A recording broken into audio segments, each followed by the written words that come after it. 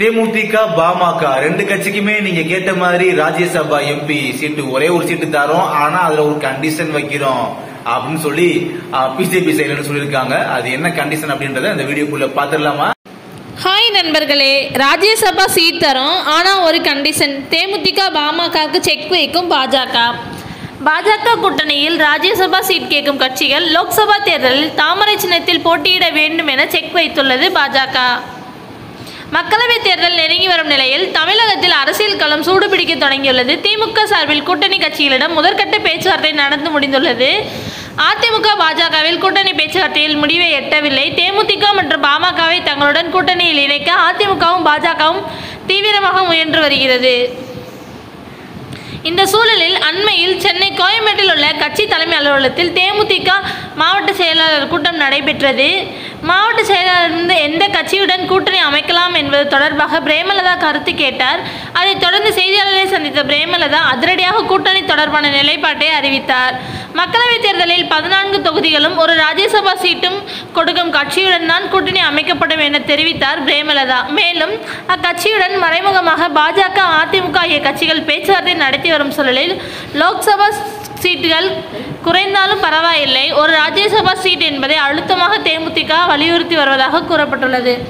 Rajya Sabha seat கொடுக்க வேண்டும் என்ற தேமுதிகவின் நிபந்தனையால் கூட்டணி பேச்சுவார்த்தையில் இழுபறி நீடித்து வருகிறது. தேமுதிகவை தங்கள் பக்கம் இழுக்க பாஜகவும் அதிமுகவும் தீவிரம் காட்டி வருவதால் தமிழக அரசியல் காலத்தில் பெரும் எதிர்பார்ப்பு நிலவியுள்ளது.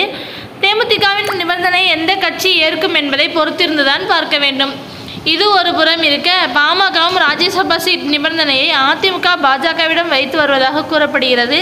கடந்த தேர்தலில் அதிமுக பாஜகவுடன் கூட்டணியில் இணைந்து ஏழு தொகுதிகளில் போட்டியிட பாமக இந்த முறை அதிமுக அல்லது பாஜகவுடன் கூட்டணி வைக்கும் முனைப்பில் உள்ளது. தேமுதிகவை போலவே பாமகவும் ராஜ்யசபா சீட்டுக்கு அதிமுக மற்றும் பாஜகவிடம் துண்டு போட்டுள்ளது. கடந்த முறை தங்களுக்கு ஒதுக்கிய ஏழு தொகுதிகளும் வேண்டும். அதோடு ஒரு ராஜ்யசபா சீட் வேண்டும் என்பதுதான்.